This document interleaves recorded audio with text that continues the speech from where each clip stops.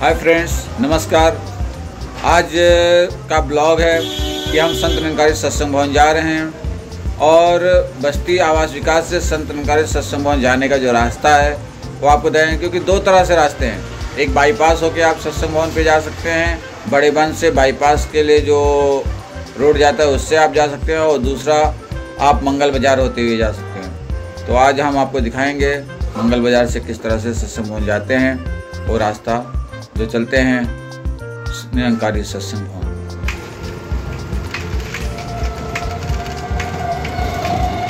दोस्तों, अब हम काली मंदिर पहुँचने वाले हैं। काली मंदिर से मालवीय रोड होते हुए हम रोडवेज़ जाएँगे और रोडवेज़ से हम फिर दक्षिण दरवाज़ा पहुँचेंगे चौराहे से। और दक्षिण दरवाजे से होते हुए मंगल बाज़ार होते हुए हम पांडे बाज़ार चलते हैं। तो जब रेलवे क्रॉसिंग के पास पहुँचेंगे तो उसके बाद में फिर आपको हम बताएँगे कि आगे किस तरह से होके जाया जाता है। रेलवे क्रॉसिंग के बाद में एक पुलिस चौकी है। पुलिस चौकी से हम बाई तरफ़ मुड़ के सीधा हाईवे की तरफ़ जाएँगे और हाईवे की तरफ़ जाने के बाद में हम आपको रास्ता टन टन टन टन टन टन टन। और ये नज़ारा आपको कैसा लग रहा है, आप ज़रूर बताइएगा।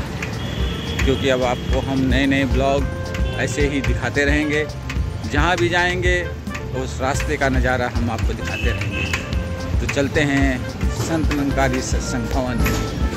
ऑलरेडी रोडवेज़ पहुँच चुका हूँ। रोडवेज़ से बाहरी रोड स्टेशन की तरफ़ जाता है। उसी तरफ़ से आपको चलना है। तो चलते हैं मंगल बाज़ार की तरफ़।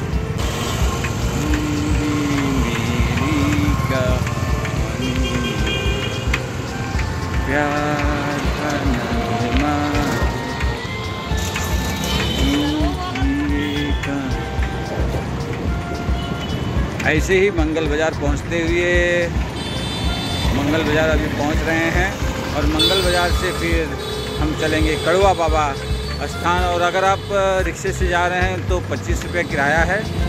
आप पानी टंकी से सीधा कड़वा बाबा स्थान के लिए आप रिक्शा पकड़िए और कड़वा बाबा से रेलवे क्रॉसिंग रेलवे क्रॉसिंग के पास हम पहुँच गए हैं। रेलवे क्रॉसिंग खुला है और वहीं से थोड़ी दूर आगे पुलिस चौकी है और उस पुलिस चौकी से हमें बाएँ मुड़ना है तो वो भी नज़ारा हम दिखाएँगे। ये देखिए। Railway crossing. रेलवे क्रॉसिंग से अभी हम निकल रहे हैं।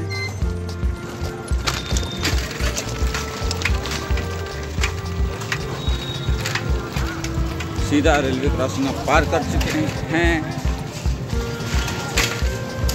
देखिए।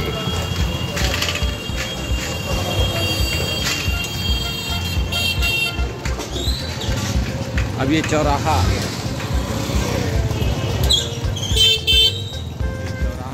चौराहा से हम बाई तरफ़ से मुड़ के हाईवे की तरफ़ जाएँगे। ऑलरेडी मैं संत रंकारी सत्संग भवन पहुँच चुका हूँ। आइए वहाँ का नज़ारा दिखाते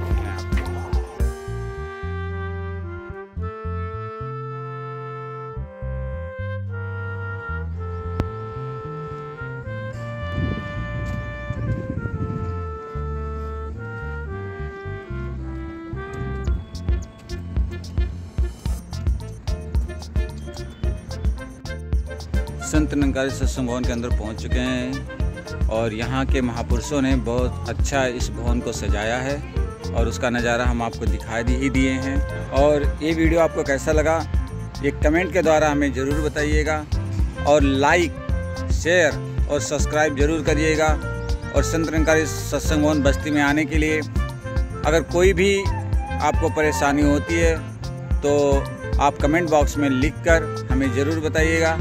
ताकि हम आपको और भी बहुत सारी चीज़ें इस वीडियो के माध्यम से आने वाली है। तो वो आपको हम दिखाते रहेंगे। इसलिए हमारे चैनल को सब्सक्राइब ज़रूर कीजिएगा और इस वीडियो को देखने के लिए आपको बहुत बहुत धन्यवाद। और ये नज़ारा आपको हमने दिखा दिया है, कितना अच्छा है। संत निरंकारी सत्संग भवन।